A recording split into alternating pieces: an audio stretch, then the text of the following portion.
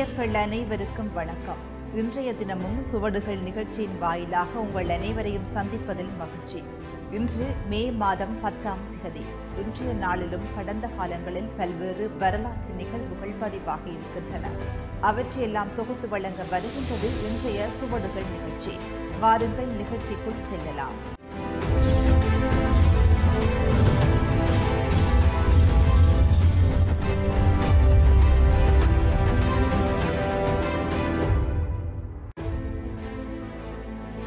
கிறிஸ்துவுக்கு பின் எழுபதாம் ஆண்டு ஜெருசலேம் முற்றுகை.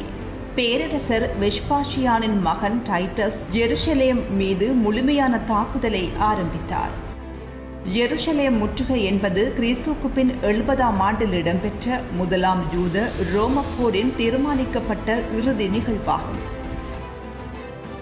கிறிஸ்துவுக்கு பின் அறுபத்தி ஆறாம் ஆண்டில் யூத பாதுகாவலர்களால் கைப்பற்றப்பட்ட எருஷலேம் அன்றைய எதிர்கால பேரரசரான தித்துஷினாலும் அவருக்கு அடுத்த நிலை தளபதி திபேரியூஸ் யூலியூஸ் அலெக்சாண்டரினாலும் வழிநடத்தப்பட்ட ரோம பேரரசு படை எருஷலேம் நகரை முற்றுகையிட்டு வெற்றி கொண்டது.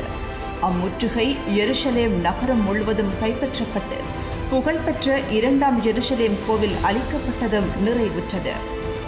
முதலாம் இரண்டாம் எருசலேம் கோவிலின் அழிவு குறித்து இன்றும் யூத நோன்பான ரிஷபாஃப் என ஆண்டுதோறும் துக்கம் அனுசரிக்கப்படுகிறது. ரோமையரால் ஜெருசலேம் நகரமும் கோவிலும் சூறையாடப்பட்டு வெற்றி கொள்ளப்பட்டதன் நினைவாக கட்டப்பட்ட தித்துஷ் வளைவு இன்றும் ரோமில் உள்ளது. மே மாதம் பத்தாம் தேதி கிறிஸ்துவுக்கு பின் எழுபதாம் ஆண்டு எருசலேம் முற்றுகை. பேரரசர் வெஷ்பாஷியானின் மகன் டைட்டஸ் ஜெருசலேம் மீது முழுமையான தாக்குதலை ஆரம்பித்தார்.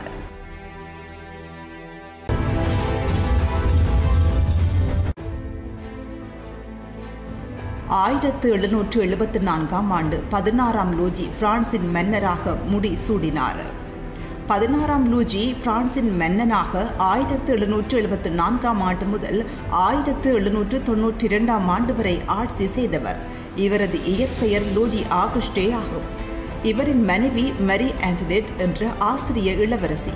பதினாறாம் லூஜியை முதலில் மக்கள் விரும்பியிருந்தாலும் அவரது ஆட்சி திறமையின்மை மற்றும் நாட்டில் நிலவிய வறுமை பட்டினி காரணமாக பெரும்பான்மையான பிரெஞ்சு மக்கள் காலப்போக்கில் பதினாறாம் லூஜி மன்னன் மீதும் மரி ஆண்டனெட் மீதும் அதிருப்தியும் ஆத்திரமும் அடைந்திருந்தார்கள். ஆயிரத்தி எழுநூற்று தொன்னூற்றி இரண்டாம் ஆண்டு ஆகஸ்ட் பத்தாம் திகதி பதினாறாம் லூஜி பிரெஞ்சு புரட்சியின் போது இடம்பெற்ற எழுச்சியில் கைது செய்யப்பட்டு விசாரணைக்கு உட்படுத்தப்பட்டார். விசாரணையின் முடிவில் அரசு துரோக குற்றம் சாட்டப்பட்டு ஜனவரி இருபத்தி ஒன்று ஆயிரத்து எழுநூற்று தொன்னூற்று மூன்றாம் ஆண்டில் மக்கள் முன்னிலையில் கழுத்து துண்டிக்கப்பட்டு மரண தண்டனை வழங்கப்பட்டது. பதினாறாம் லூஜி மன்னனின் மறைவு பிரான்சின் போர்பன் மரபு மன்னராட்சியின் முடிவுக்கு வழிவகுத்தது. இதுவே பின்னர் முதலாம் நெப்போலியன் பிரான்சில் ஆட்சியை பிடிக்க வழிகோலியது. மே மாதம் பத்தாம் தேதி ஆயிரத்து எழுநூற்று எழுபத்தி நான்காம் ஆண்டு பதினாறாம் லூஜி பிரான்சின் மன்னராக முடிசூடினார்.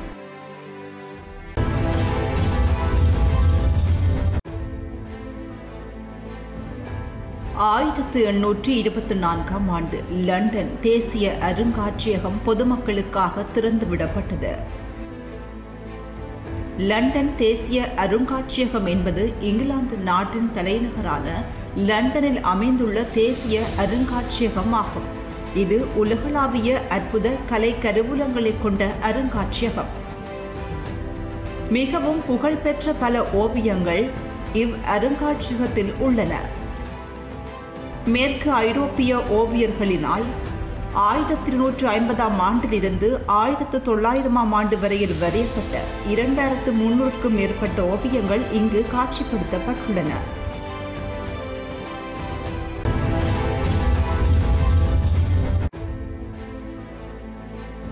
ஆயிரத்து எண்ணூற்று ஐம்பத்தி ஏழாம் ஆண்டு சிப்பாய் கிளர்ச்சி. இந்தியாவில் உத்தரப்பிரதேசத்தில் மீரட் என்ற இடத்தில் சிப்பாய்கள் பிரித்தானிய கிழக்கிந்திய கம்பெனிக்கு எதிராக கிளர்ச்சியை ஆரம்பித்தார்கள். இந்திய விடுதலை போராட்டம் ஆரம்பமானது. இந்திய சிப்பாய் கிளர்ச்சி அல்லது சிப்பாய் கலகம் என்பது பிரித்தானிய கிழக்கிந்திய கம்பெனியின் சிப்பாய்கள் மே பத்து ஆயிரத்தி எழுநூற்றி ஐம்பத்தி ஏழாம் ஆண்டில் இந்தியாவில் மீரட் என்ற நகரில் தொடங்கிய கிளர்ச்சியை குறிக்கும். இக்கிளர்ச்சி பின்னர் இந்தியாவின் பல இடங்களிலும் குறிப்பாக இந்தியாவின் மத்திய மலை பகுதிகளில் பரவியது. பொதுமக்கள் பலரும் இக்கிளர்ச்சியில் பங்கெடுத்துக் கொண்டனர். முக்கிய கிளர்ச்சி இன்றைய உத்தரப்பிரதேசம் உத்தரகாண்டம் வடக்கு மத்திய பிரதேசம் டெல்லி மற்றும் குர்காவுன் ஆகிய இடங்களை மையமாக கொண்டிருந்தது. கிளர்ச்சியாளர்கள் பிரித்தானிய படையினருக்கு ஒரு பெரும் சவாலாக விளக்கினர்.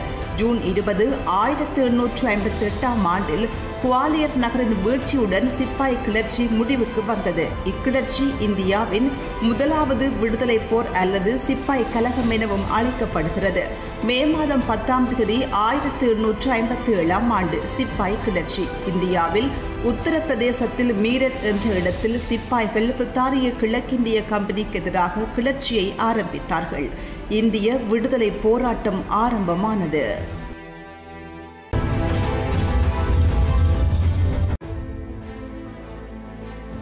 ஆயிரத்து தொள்ளாயிரத்து நாற்பதாம் ஆண்டு வின்சென்ட் சர்ச்சில் ஐக்கிய ராட்சியத்தின் பிரதமர் ஆனார் வின்சென்ட் சர்ச்சில் பிரித்தானிய அரசியல்வாதிகளில் மிக முக்கியமானவர் ஆவார்.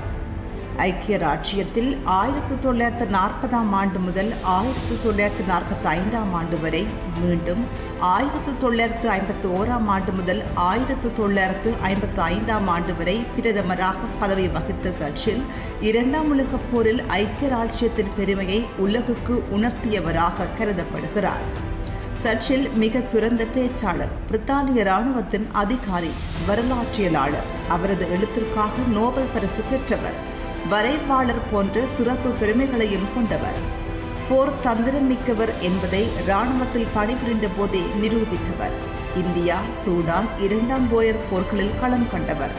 மேற்கு முன்னணியருடன் முதலாம் உலகப் போரில் பிரித்தானியா போர் புரிந்த போது ராயல் ஸ்காட் மியூசிலர்ஸ் போரின் ஆறாவது படைப்பிரிவுக்கு தலைமை தாங்கி அதன் வெற்றியில் பங்கு கொண்டார். திடீரென தோன்றிய இரண்டாம் உலகப் போரின் போது முதல் போமகனின் கடற்படை தலைவராக நிபிலி சாம்பர்லின் பதவி விலகலை அடுத்து மே பத்து ஆயிரத்தி தொள்ளாயிரத்து நாற்பதாம் ஆண்டு அன்று நியமிக்கப்பட்டார்.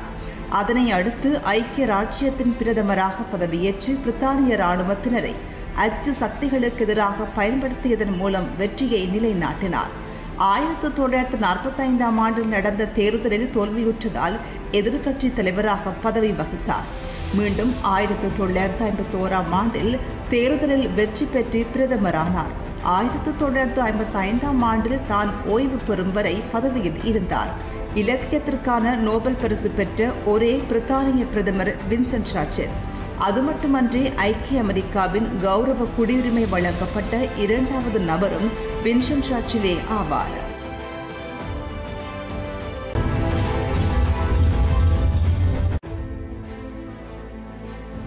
ஆயிரத்து தொள்ளாயிரத்து நாற்பத்தி ஆறாம் ஆண்டு ஜவஹர்லால் நேரு இந்திய தேசிய காங்கிரஸ் கட்சியின் தலைவரானார். ஜவஹர்லால் நேரு இந்தியாவின் முதல் பிரதமர். பண்டிதர் நேரு என்று அழைக்கப்படுகிறார். குழந்தைகள் மேல் மிகவும் அன்பு கொண்டவர். ஜவஹர்லால் நேருவின் பிறந்த நாள் அன்று இந்தியாவில் குழந்தைகள் தினம் கொண்டாடப்படுகிறது. இந்தியா ஆயிரத்தி தொள்ளாயிரத்தி நாற்பத்தி ஏழாம் ஆண்டு ஆகஸ்ட் பதினைந்தாம் தேதியன்று ஆங்கிலேயரிடமிருந்து விடுதலை பெற்ற போது அதன் முதலாவது தலைமை அமைச்சராக பதவியேற்றார். ஆயிரத்தி தொள்ளாயிரத்தி அறுபத்தி நான்கு மே இருபத்தி ஏழில் காலமாகும் வரை இப்பதவியை வகித்து வந்தார். இந்திய சுதந்திர இயக்கத்தின் முன்னோடியான நேரு காங்கிரஸ் கட்சியினால் தேர்ந்தெடுக்கப்பட்டு ஆயிரத்தி தொள்ளாயிரத்தி ஐம்பத்தி ரெண்டாம் ஆண்டில் இந்தியாவின் முதல் பொது தேர்தலில் காங்கிரஸ் வெற்றி பெற்றது. சுதந்திர இந்தியாவின் முதல் பிரதமராக பதவியேற்றார். அணிசேரா இயக்கத்தை உருவாக்கியவர்களில் ஒருவரான நேரு போருக்கு பின்னான காலத்தில் அனைத்து உலக அரசியலில் மிக முக்கிய நபரானார். மே மாதம் பத்தாம் தேதி ஆயிரத்தி தொள்ளாயிரத்தி நாற்பத்தி ஆறாம் ஆண்டு ஜவஹர்லால் நேரு இந்திய தேசிய காங்கிரஸ் கட்சியின் தலைவரானார்.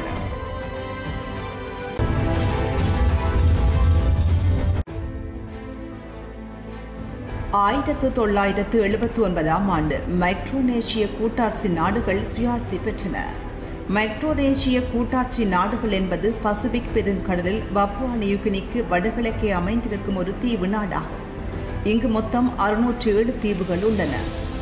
இது ஐக்கிய அமெரிக்காவின் சுயாதீன அனுசரணையுடனான தன்னாட்சி அதிகாரமுடைய ஒரு நாடாகும் முன்னர் இந்த நாடுகள் ஐக்கிய அமெரிக்காவின் நேரடி ஆட்சியின் கீழ் ஐநாவின் கண்காணிப்பில் இருந்தன.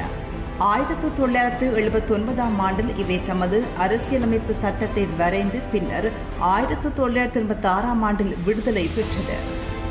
மெக்ரோனேசிய கூட்டு நாடுகள் மெக்ரோனேசியா என்ற பகுதியில் அமைந்திருக்கின்றன. மெட்ரோனேச்சியா என்ற பகுதியில் நூற்றுக்கணக்கான தீவுகள் மொத்தம் ஏழு பிரதேசங்களாக பிரிக்கப்பட்டுள்ளன. மெக்ரோனேஷியா என்பது ஒரு நாடல்ல. ஆனால் இப்பிரிவில் உள்ள கூட்டு நாடுகள் பலவும் தனித்தனியே சுயாதீன அரசை கொண்டுள்ளன. மே மாதம் பத்தாம் தேதி ஆயிரத்து தொள்ளாயிரத்து எழுபத்தி ஒன்பதாம் ஆண்டு மெக்ரோனேஷிய கூட்டாட்சி நாடுகள் சுயாட்சி பெற்றன.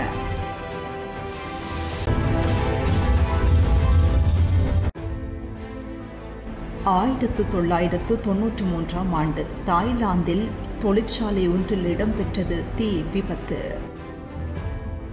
மே மாதம் பத்தாம் தேதி ஆயிரத்து தொள்ளாயிரத்து தொன்னூற்றி மூன்றாம் ஆண்டு அன்று தாய்லாந்தில் விளையாட்டுப் பொருட்கள் தயாரிக்கும் தொழிற்சாலை ஒன்றில் தீ விபத்து ஏற்பட்டது. இத்தீ விபத்தில் நூற்று எண்பத்தி எட்டு பேர் உயிரிழந்தனர் நானூற்று அறுபத்தி ஒன்பது பேர் காயமடைந்தனர். பலியானவர்களில் பெரும்பாலானோர் கிராமப்புற குடும்பங்களைச் சேர்ந்த இளம் பெண் தொழிலாளிகள் ஆவர். இத்தீ விபத்து தாய்லாந்து வரலாற்றில் மிக மோசமான தொழிற்சாலை தீ விபத்து என்று கூறப்படுகிறது.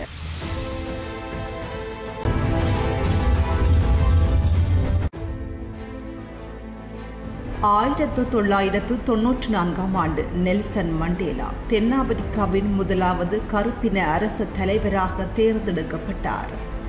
நெல்சன் மண்டேலா தென்னாப்பிரிக்காவின் மக்களாட்சி முறையில் தேர்ந்தெடுக்கப்பட்ட முதல் குடியரசுத் தலைவர் ஆவார். அதற்கு முன்னர் நிறவெறிக்கு எதிராக போராடிய முக்கிய தலைவர்களுள் ஒருவராக இருந்தார். ஆரம்பத்தில் வன்முறையற்ற அறப்போர் வழியில் நம்பிக்கை கொண்டிருந்த நெல்சன் மண்டேலா பின்பு ஆப்பிரிக்க தேசிய காங்கிரஸின் இராணுவ பிரிவுக்கு தலைமை தாங்கினார்.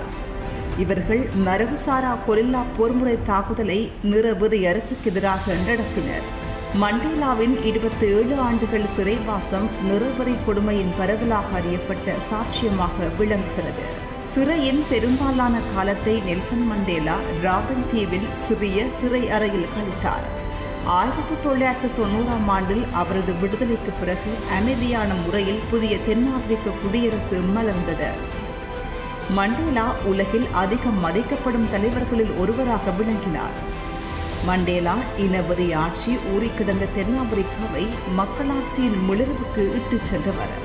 அமைதி வழி போராளியாக ஆயுத போராட்ட தலைவனாக தேச துரோக குற்றம் சுமத்தப்பட்ட குற்றவாளியாக இருபத்தேழு ஆண்டுகள் சிறையில் வாடிய பின்னர் விடுதலையாகி குடியரசுத் தலைவராக அமெரிக்கான நோபல் பரிசு பெற்றவராக நெல்சன் மண்டேலாவின் அரசியல் பயணம் தொடர்ந்தது. ஜூன் இரண்டாயிரத்தி எட்டாம் ஆண்டில் பொது வாழ்க்கையிலிருந்து விலகுவதாக நெல்சன் மண்டேலா அறிவித்தார். மே மாதம் பத்தாம் தேதி ஆயிரத்து தொள்ளாயிரத்து தொன்னூற்றி நான்காம் ஆண்டு நெல்சன் மண்டேலா தென்னாப்பிரிக்காவின் முதலாவது கருப்பின அரச தலைவராக தேர்ந்தெடுக்கப்பட்டார்.